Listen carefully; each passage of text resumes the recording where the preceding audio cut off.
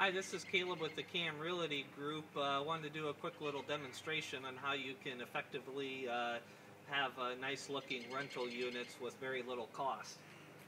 We got the standard $100 uh, fridge here, not much to it. You know, it's kind of a little junky inside, all that good stuff.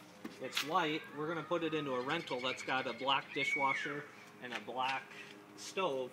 No way in hell am I buying a brand new fridge just so it can match.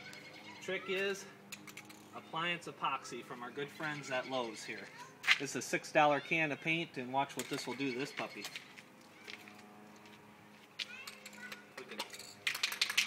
we're going to have some black appliances here in no time.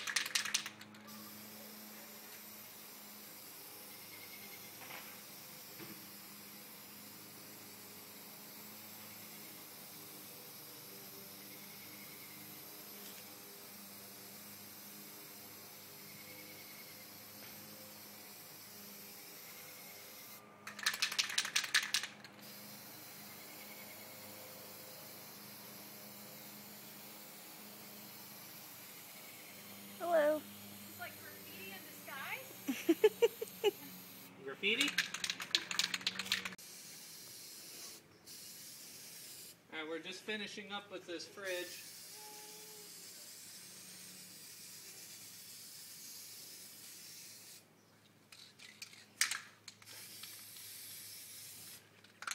Details. We don't have to be as careful on the sides here because this will be uh, this will be hidden by the walls. So we just want to cover it just a little bit.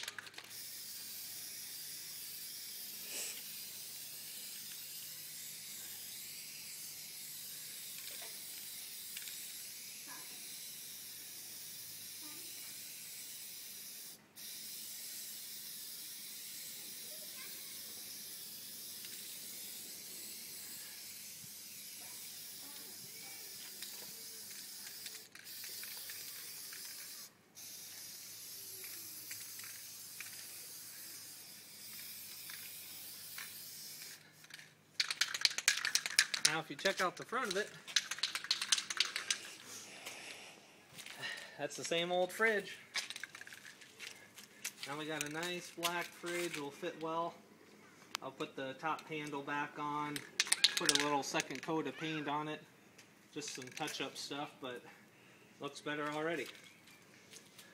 So this is Caleb with the Cam Realty Group, uh, doing just a quick demonstration how you make black appliances that tenants are going to ooh and ah over. Over three cans of paint, 15 bucks. That's how you get nice looking fridges. We'll catch you later.